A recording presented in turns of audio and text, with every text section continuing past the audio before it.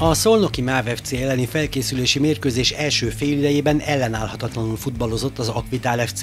Csapatunk a 11. percben szerezte meg a vezetést, Madarász szögletét ugyan kifejelték a védők, ám a labdát Kártik Bálint összegyűjtötte, majd a fél szolnoki védelmet becsapva a hosszú sarokba lőtte.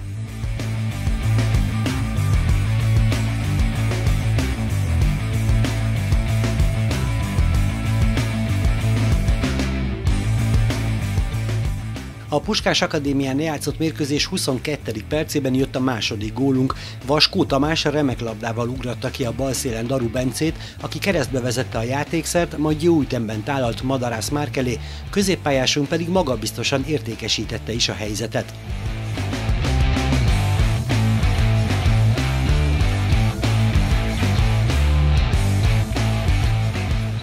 A 27. percben jött az újabb csákvári gól, Kocsis tálalt a jobb szélen lendületből érkező Major elé, aki laposan centerezett, a jó ütemben érkező sejben pedig ballal levette, majd jobbal a szolnoki kapuba lőtte a labdát.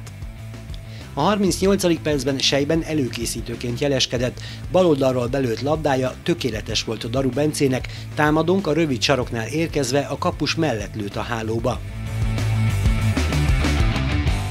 A szombatra rendelt góljaink ezzel még nem fogytak el, a második félidőben is sikerült bevenni a szolnoki kaput. A 65. percben magyar szögletét a rövid saroknál Gambajár csúsztatta meg, mely így lett tökéletes a hosszú oldalon Csató Martinnak.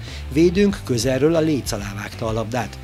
A 89. percben ugyan egy kisebb védelmi megingásukat kihasználva Kónya révén szépített a szolnok, ám az Akvidál FC Csákvár így is magabiztos 5-1-es győzelmet aratott a két csapat felkészülési mérkőzésén.